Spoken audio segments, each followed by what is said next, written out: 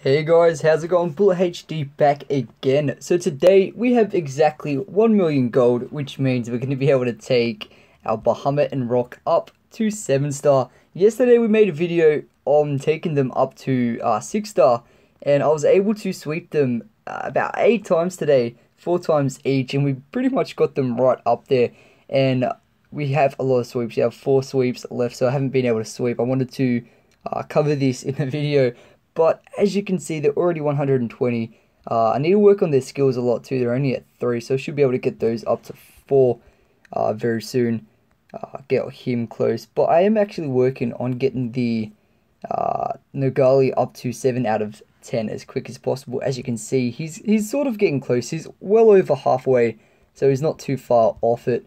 Uh, I'm pretty sure I should have enough shards. I don't want to go too far under 20,000 shards though because I really want to have enough so that I can, in fact, just evolve him as soon as possible. But we're sitting at 22k, so I'm going to go ahead and buy.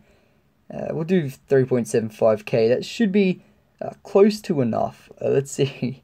should be well over, actually. Uh, 6,300 over. But there we go. 7 out of 10. We got him up really quick. Actually, we took him up so fast. It took quite a while to get Soothsayer and Karkadan up to the other heroes, but now is already pretty much in line with those two heroes, which is awesome. We took him up so fast. So before we take him up to 9 star, we're going to go ahead and work on the Roc and also the Bahamut. So I'm not going to take these two heroes up to 160.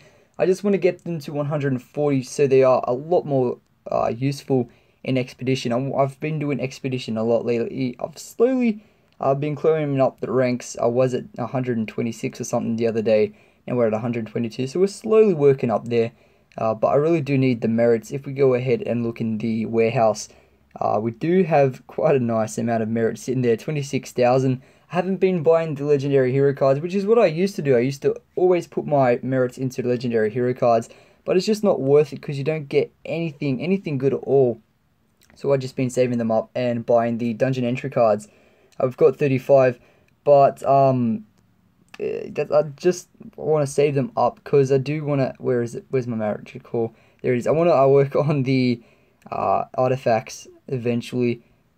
They're really nothing at the minute. We've got three unlocked. Uh, still have to get these three.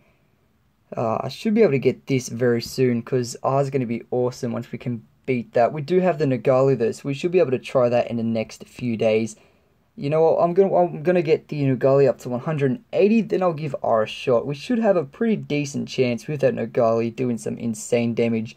Uh, but we're gonna go ahead and upgrade the Roc and Bahamut. It's taken a while to do this. It was such a long intro, I guess. But there we go. 120, 120. Awesome. Uh, so how much HP and attack do they have each? So Roc has a lot less uh, good stats. Actually, no, he has more somehow uh, a few hours ago, Bahamut had better HP and attack, but Roc's now got higher attack. So upgrading him definitely increased the Roc's attack more than it did the Bahamut. So Bahamut is more of a uh, tank than Roc, because Roc's got a lot more HP now. Uh, but let's go ahead and upgrade the Bahamut first. You know, we'll do both of them at the same time and see how much EXP they get. We'll split it between them it's a little bit more fair. That'll put them pretty much at the front, so we won't have to uh, slide a swipe to the side every single time we want to sweep them. So that's pretty cool. Oh, 105k, come on. 282, it's like we're rolling, I guess. Uh, 719, that's awesome. Last one, 82,000, not too great of a finish. But we get to roll the sweeps in the dungeon. So let's go and do that. Hopefully we get some nice shard rolls as well or 125 already. If I didn't sweep both of them at once, it'd be about 129, maybe even 130. It should possibly get them up to 126, maybe 127, but I'm not sure. Let's quickly check.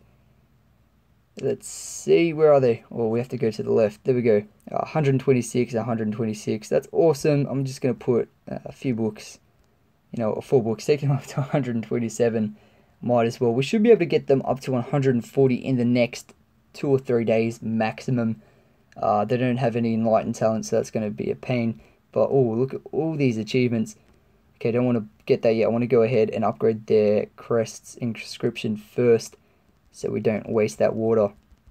Water is so valuable uh, when taking these guys up, so we need to make sure we don't go over our limit.